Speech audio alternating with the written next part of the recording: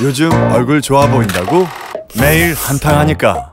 치킨 데이는 없어도 복날은 있는 이유가 뭐겠어? 미꾸라지에 영혼까지 갈아 넣었는데 맛이 없을 수가 있겠냐고. 갈비 언제까지 뜯기만 할래? 뜨고 맛보고 즐기고. 숟가락이 멈추질 않지